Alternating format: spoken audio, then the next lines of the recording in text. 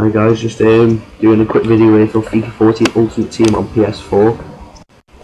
Um, it's a quick way, basically, to get coins, get players, FIFA points, etc. There's an email address that we'll put here for you now.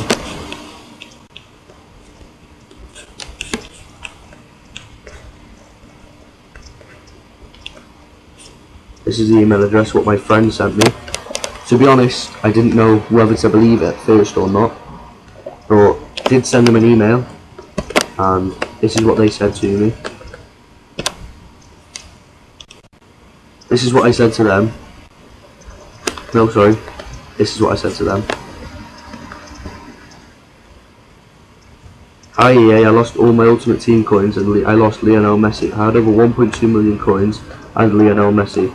Someone bought him for 1.2 million coins and it didn't give me the coins and it also kicked me out the Ultimate Team and went back in and when I went back in it made me lose all my coins obviously.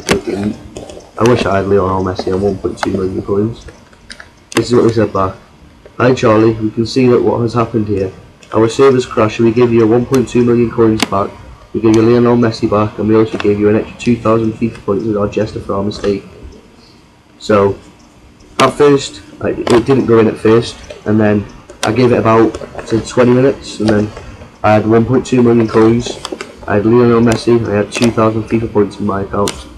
Now, I messaged my mate straight away and I told him, you know, it's great, it's great, so I'm going to put some videos on YouTube for it.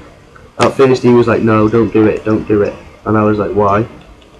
But I did it anyway, so um, yeah, I hope this video works for you guys. Please give me a like and subscribe.